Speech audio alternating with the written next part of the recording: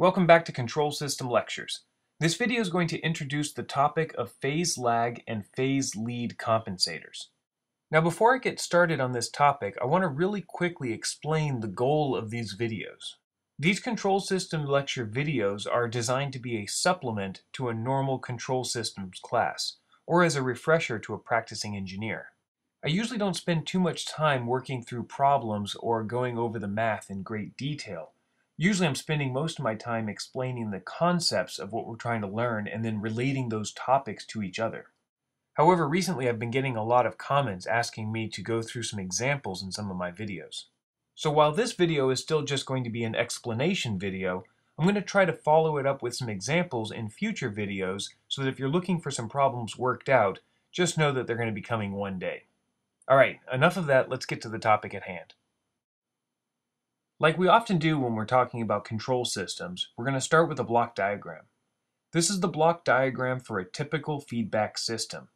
And this block labeled controller is the transfer function that converts the error term into an actuator command. And as the control system designer, you're free to choose any control scheme you want for this controller block.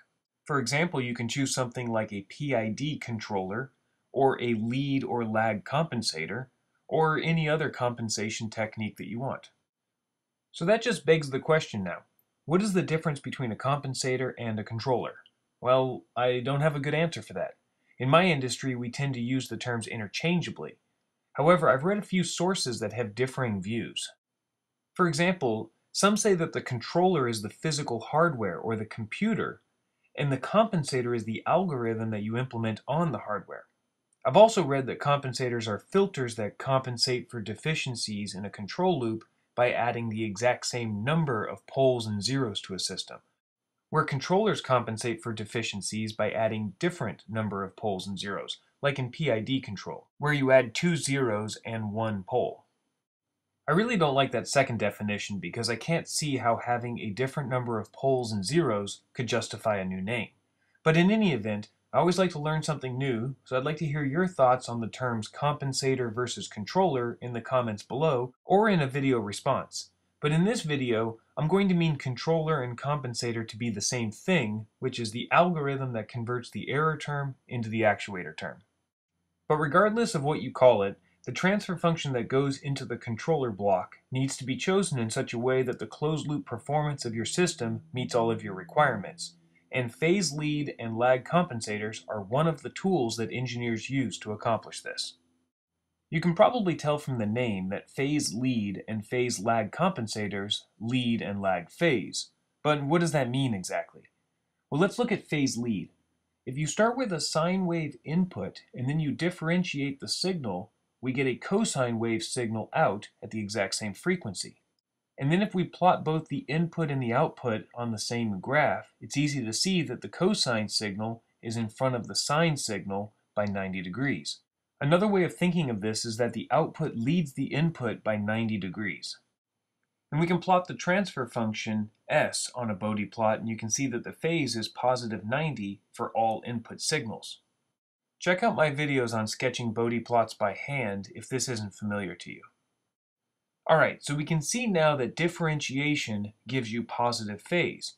And conversely, integration would give you negative phase. And that's because integration is 1 over s, which is just the negative of differentiation on a Bode plot. So a zero in a transfer function adds phase, and a pole in a transfer function subtracts phase. But differentiation and integration alone don't make a phase lead and lag compensator. However, just like with a differentiator, we would expect the lead compensator to add positive phase to the output for at least a certain range of input frequencies, and we would expect the lag compensator to add negative phase to the output so that the output lags behind the input.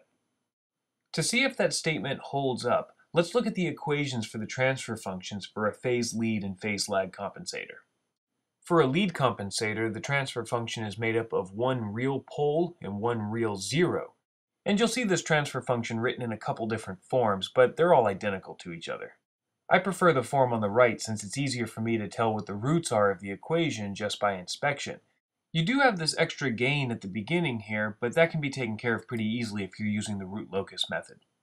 But the two things that make this a lead compensator is that there is a single pole and a single zero, and also the zero is closer to the origin than the pole, or omega z is smaller than omega p. Now if I draw the equation for the transfer function for a lag compensator, you're going to notice that they're remarkably similar. In fact, they're exactly the same if you draw them without numbers, if you just use omega z and omega p. And just like a lead compensator, a lag compensator is made up of one pole and one zero. However, in this case, the pole is closer to the origin than the zero. Okay, let's plot a lead compensator on a Bode plot and see what it looks like. To do this, I'm going to rewrite the transfer function as the product of a real zero times a real pole. Since I want to build a lead filter, omega z has to be smaller than omega p. Now the location of these poles and zeros can be anywhere on the real line. The only stipulation is that the zero has to be closer to the origin. Now we can sketch the approximate Bode plot for each of these two transfer functions on the same plot, so you can see what they look like in relation to each other. The zero is going to add 90 degrees of phase and amplify high frequencies whereas the pole is going to subtract 90 degrees of phase and attenuate the high frequencies. And when you multiply the two transfer functions together, that's the same as adding the two lines in the Bode plot. So our transfer function is going to behave like a real zero early on at the low frequencies and then get countered by the real pole at the higher frequencies. So the red lines are the approximate Bode plots for our phase lead compensator. And one of the things to note about our phase lead compensator is that it increases the gain of high frequency inputs, but not as much as a zero would all on its own. So this means that it's going to be less noisy than a derivative controller on its own. And the other thing is that you can easily see that the lead compensator adds phase between the two corner frequencies, and then adds no phase outside of this region. And by adjusting the two corner frequencies, or adjusting the locations of the pole and the zero, you can move this positive phase region around. Let me show you what I mean by that with a quick example. I'm going to start with a phase lead compensator and then show you how moving the zero around can morph it into a phase lag compensator. Let me first start by adding a real pole to our system. And now I'm going to add a real zero to our system closer to the origin, so that makes this a phase lead compensator. And the Bode plot of each of these and the combined Bode plot will look exactly like what we just did, so there's no surprises there. Some amplification of high frequency signals, and then some phase lead at the lower frequencies between the zero and the pole. But let me grab that zero and move it closer to our real pole. It's still a phase lead system because our zero is still closer to the origin. And now I'll redraw the zero on our Bode plot. You can see that it's a lot closer to omega p. And when we combine the two, you'll see that the phase lead is a lot smaller than it was when they were further apart. Now let me grab the zero again and move it directly on top of the pole. When we replot the Bode plot for that zero, it's exactly the negative of the real pole. So when you add them together, they're going to exactly cancel each other out, which makes sense because the pole and the zero would just mathematically cancel each other out also. So this is sort of a silly example. Now we'll take the zero and move it even further to the left, and this becomes a phase lag system since the pole is now closer to the origin than the zero.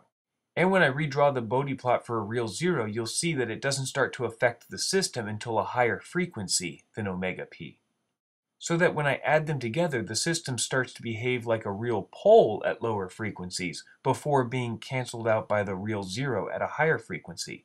And this adds phase lag to the system. So hopefully this quick demonstration shows you how the exact same transfer function structure can produce either phase lead or phase lag just by adjusting the relative position of the pole and the zero. So that covers the definition of a lag compensator or a lead compensator, but what about a lead lag compensator? Well, this is simply just designing a system that uses both a lead compensator and a lag compensator. And we do this a lot of times in order to get the performance that we need. And I'll show you why that is in the next video when we actually start to design a lead lag compensator. But in this example here, you can see that this is made up of both a lag, which is the red pole in zero, and a lead, which is the yellow pole in zero. And the Bode plot for something like that would look like this, where it lags at low frequency, then leads at high frequencies. I'm sure this video only addressed a few of your questions, and you probably have a lot of other questions. For example, why do we even care about manipulating phase in a control system? Or why aren't we concerned with the change in gain in the Bode plot? Or when would I use a lead lag compensator versus maybe a PID controller? And how do I go about designing and tuning a lead lag compensator? In the next few lectures videos, I'm going to address those questions, so stay tuned. If you don't want to miss any of the future videos, don't forget to subscribe. And if you have any questions or comments, please leave them in the section below, and I'll try my best to answer them. Now I'm starting to get more questions across all of my videos than I can handle, so if you see that I haven't answered somebody's question and you know the answer, please help me out and help out your fellow controls peers and provide the answer. I'm sure they'd appreciate it. That's it for now. As always, thanks for watching.